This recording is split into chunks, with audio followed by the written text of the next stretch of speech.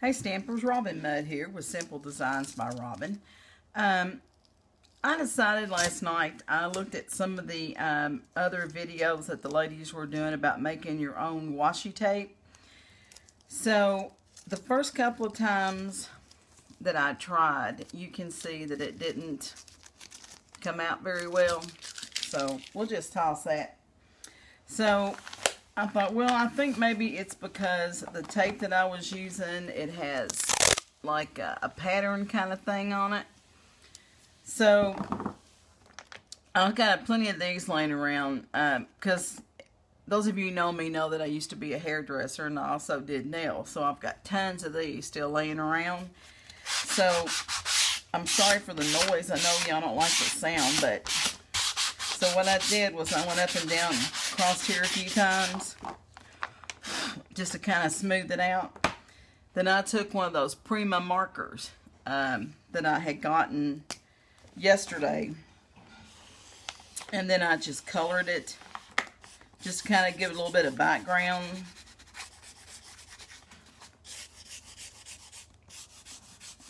And like Karen says, y'all talk amongst yourselves for just a minute while I get this colored. And then uh, we're going to try, let's try one of the um, blendabilities. Let's see uh, what it does and see if it does as, see if it does as well as the Prima marker did. But I just got really aggravated because, you know, there's no reason why you can't make your own washi tape.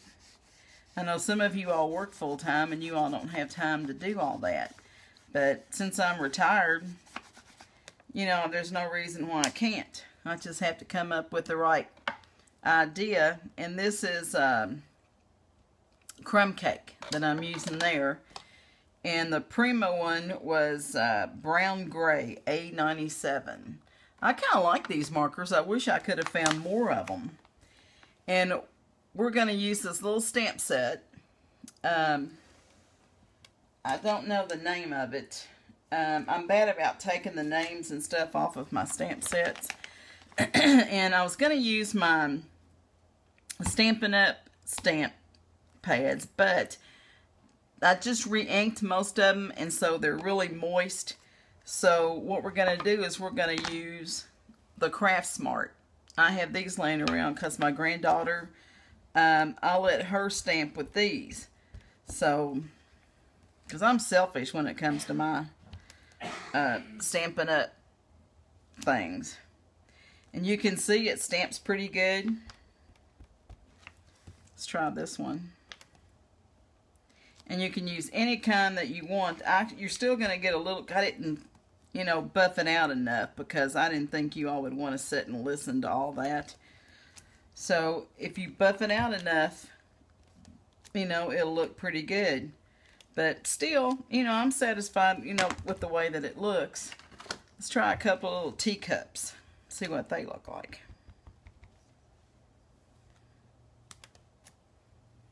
Well, I didn't get as much on there.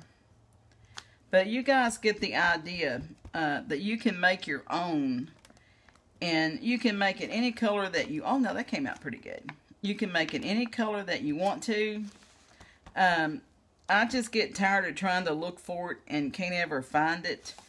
So I kind of use a little bit of country girl ingenuity to see if, you know, I can make my own or uh, whatever. I couldn't find my big pad, so I was kind of using this one. See what it does with this.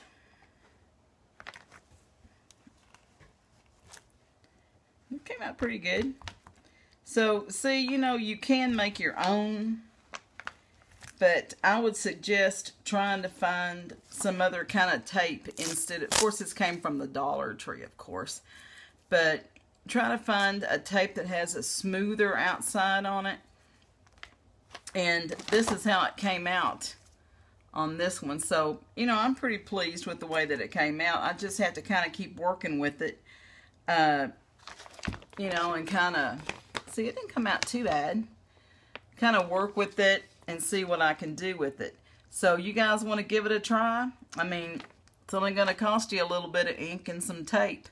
So if you like this video, give me a thumbs up. If you don't, give it a thumbs down, but at least let me know why you're giving me a thumbs down.